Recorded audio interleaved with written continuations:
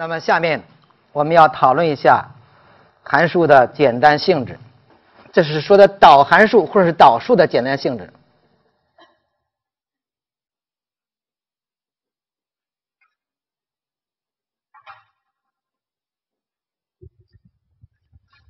这个简单性质呢，我们现在根据定义就可以得到我们所要的进一步的很重要的一些结果。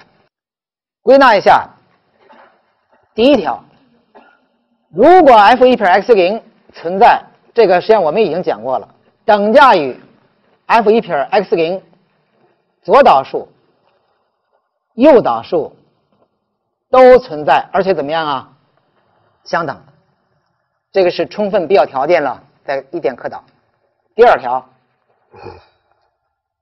如果一个函数 f(x) 在 x 零处可导，得我们可以下出一个结论：得 f(x)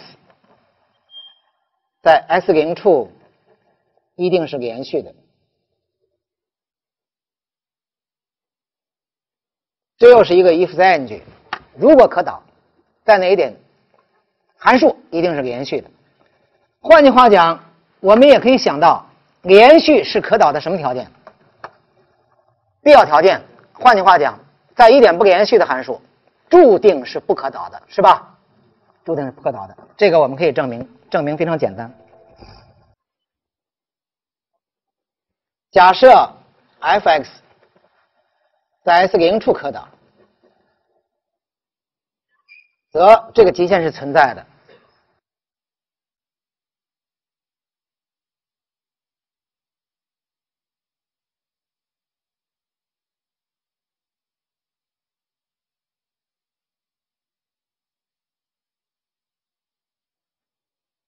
好，可以用这样的一个定义的一个形式来考虑。实际上，这个就是上面就是德尔塔 f(x) 零，这个呢是什么？这就是德尔塔 x。当然了，也可以把它，我们为加上导数的定义啊，再写一遍。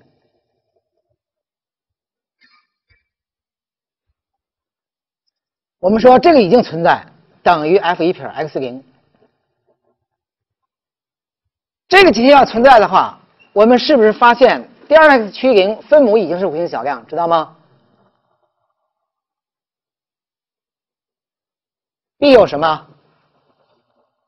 又是无限小量比接，这个是不是一定趋于零？否则的话，这个不能存在，知道吗？这个要趋于零的话，再根据导数定义，用 f 这个函数在某一个 S 零的一个零域里边，是不是有定义啊？这是导数定义的大前提嘛？于是马上就根据点连续的三要素，这个 f(x) 在。在 S 零处是连续的，因为第二的 x 趋于零，第二的 x 等于什么？第二的 f(x) 就是 f(x) 减去 f(x 零，或是我们一再不厌其烦的来写这个 S 零加德尔塔 x 减去 f(x 零。所谓 x 趋向于 x 零，或是叫做德尔塔 x 趋向于零，不管哪一个说法。是不是都有这个趋向于它，这个趋向于它，是不是？x 趋 x 零的时候，如果是这样的话，是把 x 看作变量；如果是 delta x 趋零的时候，在这一块里边，第二 x 是变量。所以就是说，极限值是不是就等于函数值啊？第二 f 趋于零是无穷小量，那就意味着极限值等于什么？函数值，这不是极限值就等于函数值吗？它的极限值就等于这函数值，是不是？所以可导的时候。函数在那点一定是连续的，或者换句话讲，在不连续的点上一定是不可导，一定不可导。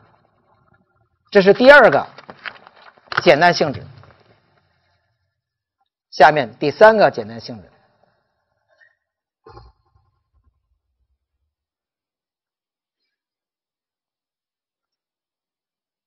如果已经知道 f(x)。比如说，在某一个 x 零的一个领域里边有定义，并且还知道 f 一撇 x 零存在，并且大于零，或者说小于零。这个写法既然写出来，就是已经存在了啊。大于零，则我们可以得到如下结果：当 x 属于 x 零加上 x 零，对不起，再写一下，写错了。x 属于 x 零减德尔塔，德尔塔零吧。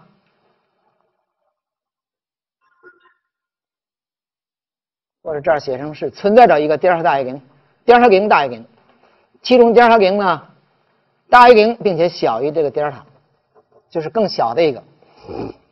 在这个里边有 f(x) 一定小于 f(x 零，而当 x 属于另外半个领域的时候，x 零到 x 零加德尔塔的时候，德尔塔零。f(x) 呢会大于 f(x 零，这个结论呢是对导数值大于零来说的。如果小于零，结论就怎么样啊？反过来啊，小于零就反过来。这样的一个性质呢叫什么呢？注意听，这个性质叫做由函数的导数值在一点处导数值的正负号。所决定的函数值的局部比较性质是局部的，这个 s 这个第二条零可能很小，但是再小也会存在一个，总能找到一个。在这里边，函数值的大小是有比较结论的。大家闭眼想一想，我们写这个描述，从文字上来讲，在 s 零的右侧的某一个小的半区间里边，f 的值会大于固定点的那点。f x 零知道吗？当导数大于零的时候，在 x 零的左侧的半区间里边，f 的值会怎么样啊？小于 f x 零那点固定的值，这是导数大于零。如果小于零，结论相反。这个结论是非常容易证明的。要证明这个结论，需要用到我们到现在为止讲的所有的概念，重要概念，并不难。但是呢，要用到我们。所学过的那些重要的结结论，我们证明这一款这一点的导数的定义就是这个了。我们已经不厌其烦的写了好几次这个导数定义了啊，就是这个极限它已经存在，而且等于 f 一撇 x 零。我们假设它大于零，如果这个大于零的话，根据极限的保号性，是不是立即知道这个分式函数？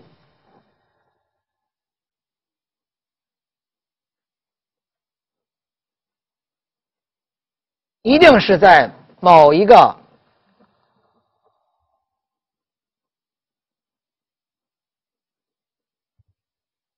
其中德尔塔零要求要比这个第二来的小，那一定会在某一个领域里变恒为正，这是不是根据极限的保号性啊？也就是说，这样的德尔塔零是存在的一个德尔塔零大于零，但是要满足德尔塔零比这个来的小，因为这个德尔塔零我们希望它小一点，不管再小总是存在的。这个要大于零的话，那这个如果大于零，那就分子分母保持同号，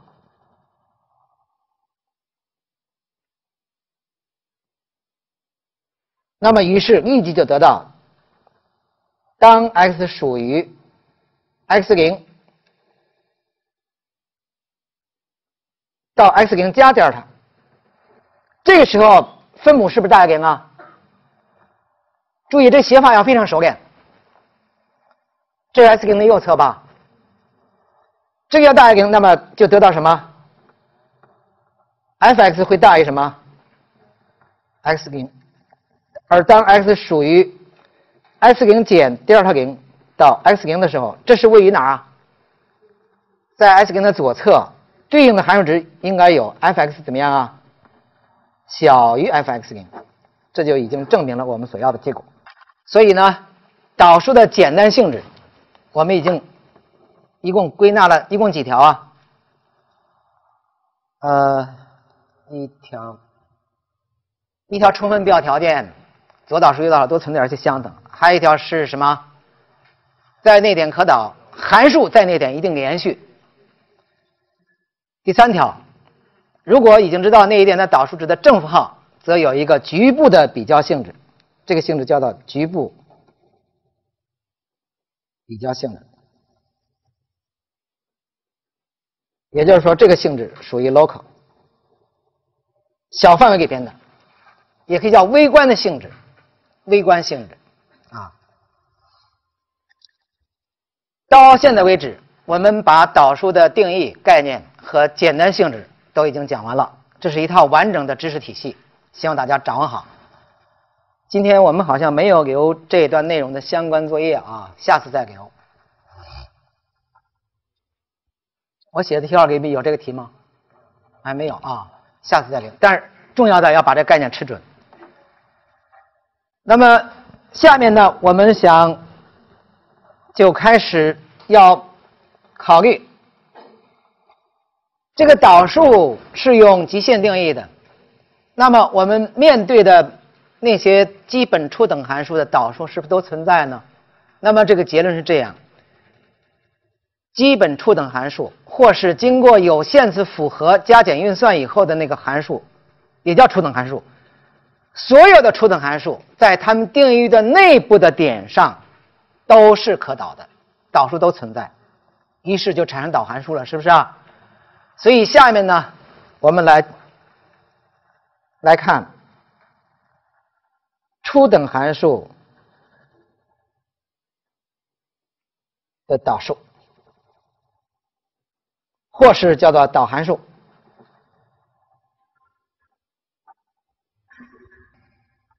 比如说最简单的一个初等函数 y 就等于常数 c，对任意的 x，属于负无穷到正无穷都是同一个常数。很显然，对任意的一点 x，那么 delta f(x) 我们以后就写成 delta f(x)，相当于是。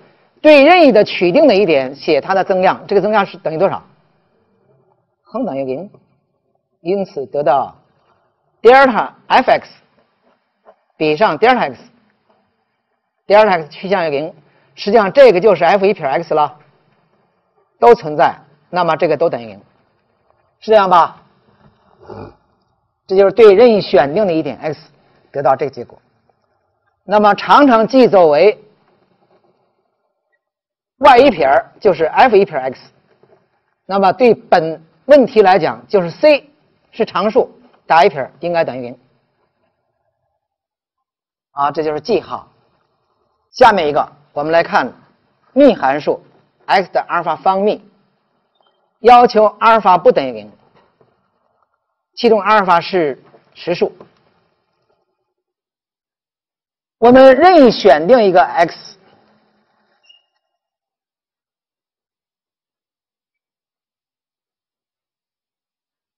要求这个 x 不等于零，先要求它不等于零。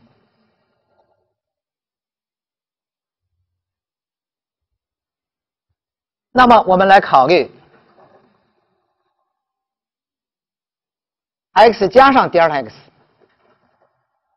减去 x 的阿尔法方幂，这个也是阿尔法方幂，这就是那个增量了。再比上 delta x，我让 delta x 趋于零。这些是否存在呢？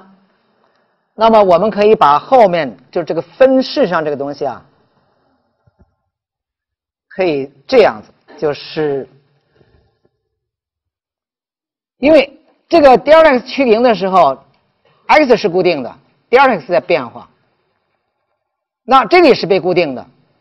那么于是我们想到了，可以把它提出来一个东西，这儿提出一个。X 的阿尔法方幂吧，上面就变成什么了？是不是就变成了一个一加上 x 分之 delta x，上面的还是方幂，是多少方幂啊？阿尔法，然后再减一个一吧，我这儿写不下了啊，减一个一，让德尔塔 x 趋于零。然后下面呢，本来还是德尔塔 x 了，但是我们得到过幂函数的一个等价无穷小，现在德尔塔 x 是趋于零，x 是相对固定，把这个能不能看成一个无穷小量了？于是我下面除一个 x 可以吧？要除一个 x 的话，那么前面是不是应该相当于分母上除了一个 x？那分子上应该怎么样啊？也除一个 x，那这儿是不是变成阿尔法减一了？这过程我解释清楚了啊，但是我这地方地方比较小啊。然后呢，就去考虑这个极限，这个极限我们继续往这儿写好了，x 的阿尔法减一。后面这个极限呢是这个东西减一，减一的话，那么是不是实际上可以写成？注意。这个地方是一个这样的一个形状，那么事实上可以把它写成一个一的一的阿尔法 ln 一加上 x 分之德尔塔 x，能看出来吗？然后再比上一个什么呀？我这样子来写，一切都没变啊，只是换了一个写法，能够理解吗？啊，然后这个地方是德尔塔 x 还是趋于零？德尔塔 x 趋于零的时候，是不是这个也趋于零啊？还有减一啊，这个地方还是有 x 的阿尔法减一，德尔塔 x 趋于零，一的阿尔法 ln 一加上 x 分之德尔塔 x 阿尔法方幂减一比上德尔塔 x 比上 x。嗯，啊，这没有阿尔法了，是这样吧？这样子根据我们学过的一个结论，这都是常数了，是不是可以有一个无穷小量替换了吧？那么是不是上面就是变成了一个阿尔法倍的 ln 一加上 x 分之德尔塔 x，再比上一个德尔塔 x，比上一个。那么事实上，这个阿尔法又可以写到前头去。后面这个大家能看了吗？这是不是等价无穷小量啊？分子分母的极限，比值的极限是一，所以最后得到一个结果：阿尔法乘上一个 x 的阿尔法减一。这个结论呢，说明存在这个导数存在，并且等于这个结果。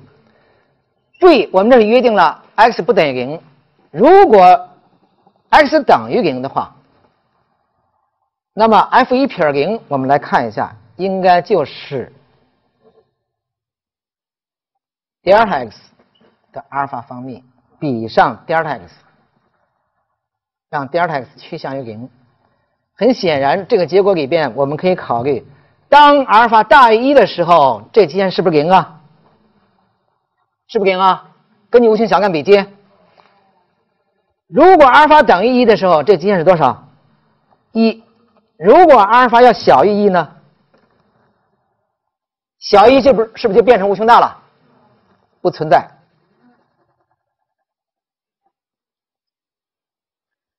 这样的话，我们把以上的过程给综合一下，就可以写成这样：x 阿尔法方幂，有时候是写的下面打一个下标，关于是。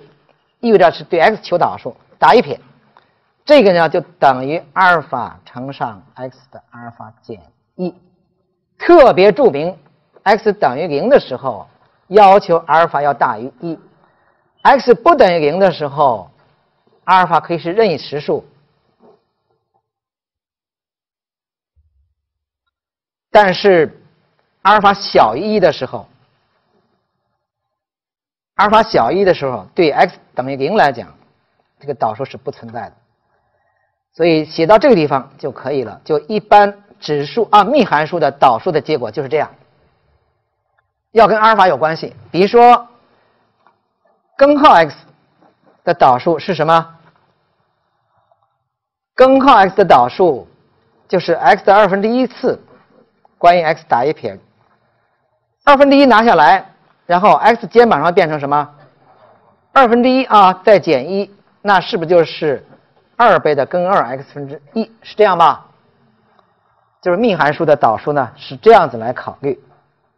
好，这是幂函数的导啊，幂函数的导数结果。那么下面第三个，我们再看一个。a 要求什么呀？不等于一，还要求什么？a 大于零，x 本身定义域要大于零。那么这样的话，我们对任意的 x，注意它的定义域是不是就是零到正无穷，是吧？那么我们就来考虑导数的定义那个极限，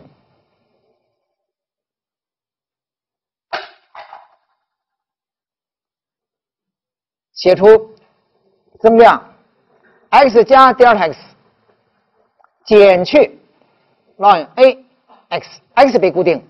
这是对任意选定的一点，让 delta x 趋于零比上 delta x，对吧？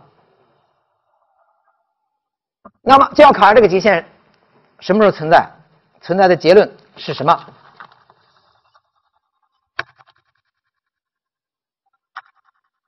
那么事实上，整个的分式函数是 delta x 的一个函数，而 x 本身呢，应该是看作一个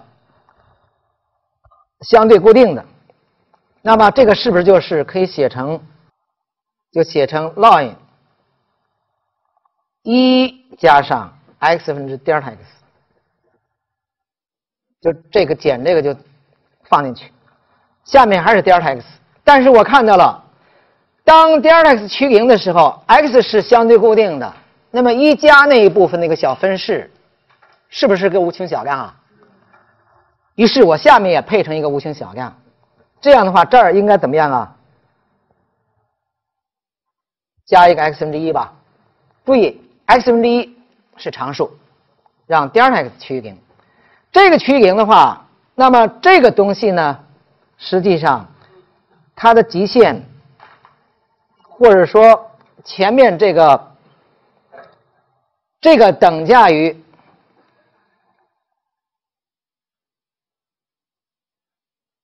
等价于什么呢？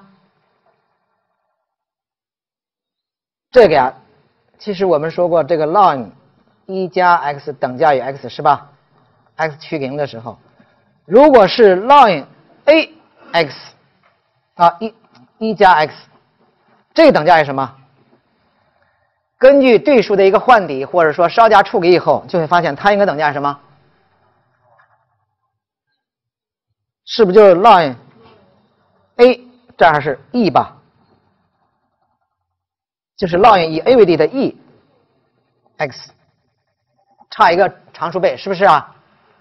所以这个时候这个极限呢，我们可以把它写成是 delta x 比上 x，换底的话，我想大家换底的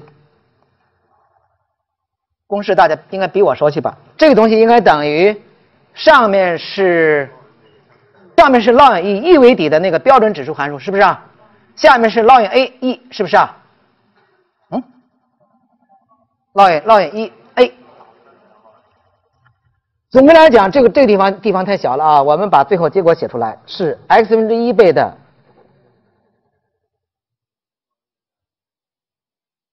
ln a e 吧？是这样吧？啊，应该是这个。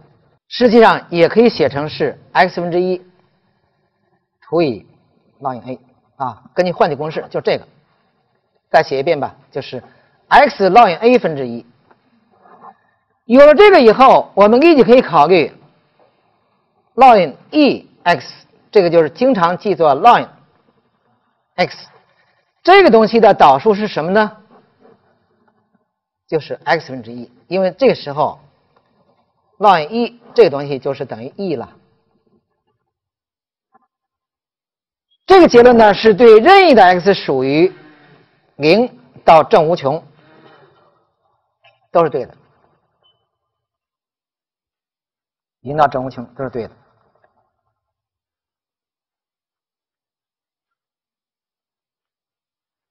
第四个，你说再看一个 y 等于 sin x。这个定义域是对任意的一个 x 在数轴上都是有定义的。那么这个结果呢是比相对比较简单的，我们考虑德尔塔 sin x 比上德尔塔 x，对任意 x 来选定这个，考虑这个东西。实际上这个就是 delta x 趋于零下面除以 delta x，这个东西是两个相减，实际上是。我们省略一步啊，应该是 sin 括号 x 加上一个德尔塔 x 减去什么 sin x？有没有想到要把它个和差化积？是不是？和差化积就变成什么了？二倍的 sin 二分之一倍的德尔塔 x，就我们以前考虑连续性的时候曾经写过啊。还有个 cos 什么？x 加上二分之一倍的德尔塔 x。第二呢是趋于零，这个极限呢，我们来考虑一下。我们把这个地方如果要再除一个二的话，那这儿就得这个除以这个二，是不是就没了？这个二就没了。这样的话呢，根据乘法准则，极限的乘法准则，两个比值极限是不是都存在啊？都存在，而且发现了没有？这个极限是等于什么？一乘上 cos x，注意德尔塔 x 是变量啊，德尔塔 x 是变量，x 相对固定，所以呢，我们就得到了一个结果：对任意一点数轴上任意一点关于 x 的一阶导数啊，打一撇就是 cos x，完全类似的。大家课后自己去做一个，就像我们这个这样的一个过程啊，cos x 的导数是负的 sin x，这个留给大家课后去做一个练习，可以吧？一定要亲自体验一下，用导数定义来做一个导数出来，哎，是什么味道啊？好，今天。